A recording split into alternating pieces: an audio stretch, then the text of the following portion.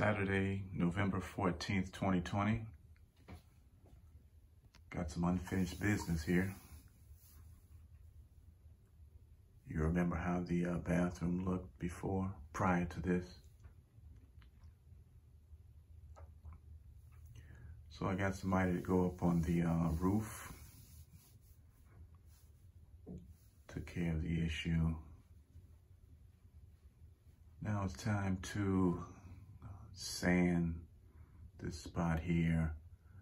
Uh, add some tape where, where the crack is. Uh, well, sand, compound, tape, compound, wait for it to dry, sand, paint. Then, of course, phase three is paint the ceiling might have to, I don't know. Looks like I might have to add some here too, so we'll see. Let's get started. You remember the uh, sander I bought? I'll be giving it a try today. Well, not to, well, yeah, I'll be giving it a try today. So let's get started. I didn't turn this thing on when I uh, was showing you a while back. Watch this.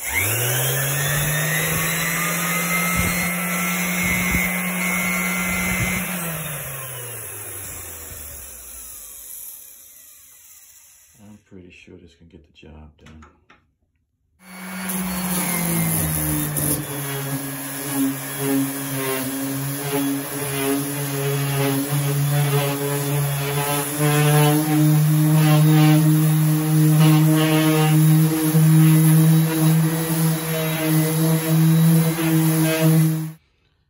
Tell you what, guys, this thing is uh, it's about three some amps corded, but it can go and it can get away from you. I'll say that much. I'm uh, I'm gonna take care of this, but uh, man, it's really good if you ask me. So I uh, just gotta make sure how you angle angle it, cause you might end up uh, coming in on a bad angle and kind of nicking it like this. I'm gonna feel that, ah, maybe some pink. No, I feel that in, I feel that in. I mean, it's just minor. It's, I feel it in. I feel those spots in, no problem. All right, guys, I just put a little compound up, just a very little. Very that's okay. Got some stuff there. There we go. That sander will get this. Trust me. This is just a cheap classic two inch. No problem. Now I'm just gonna fill the, I'm just gonna fill the crack in, smooth it out. I got a six inch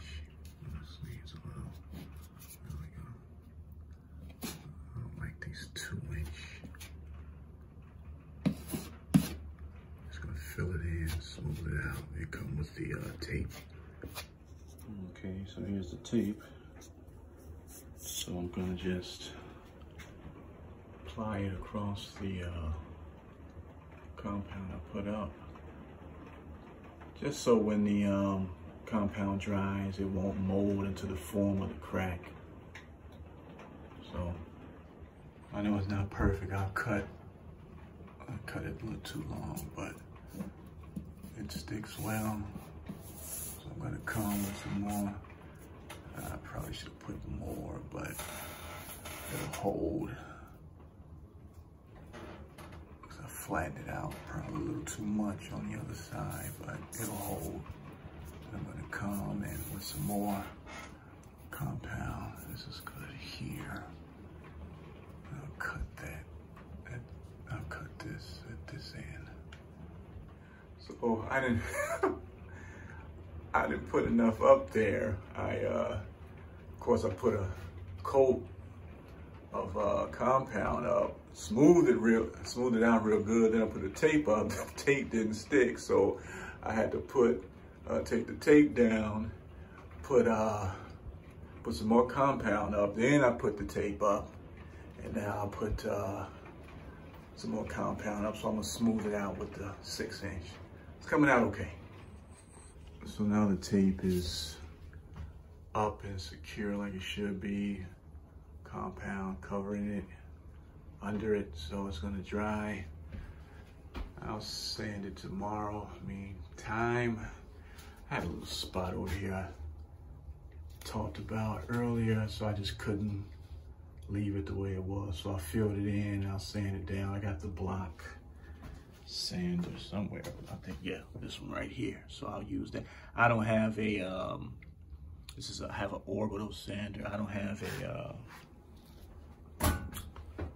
forget the name of the sander. I want it though, so I see how important it is. Uh, not ankle, what is it? Um, it's like a corner type sand. You've seen it though.